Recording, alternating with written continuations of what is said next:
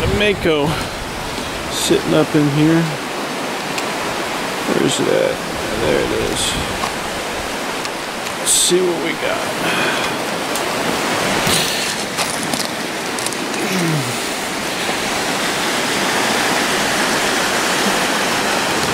I think I'm gonna have a screamer here. Pretty sure.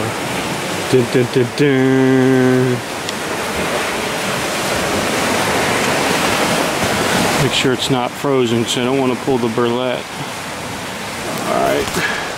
Just in case there's a really nice bourlette that's frozen, I'm gonna work this whole chunk out there with me a second.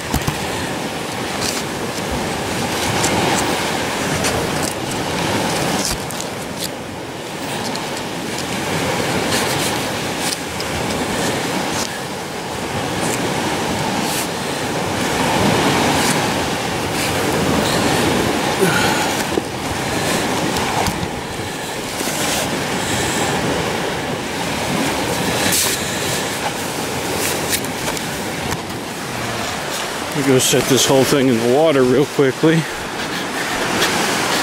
that should thaw it fast.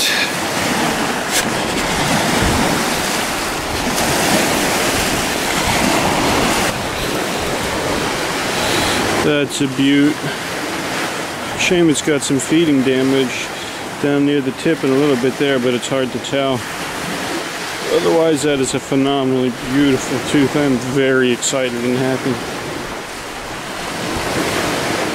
Yeah. Another Mako here.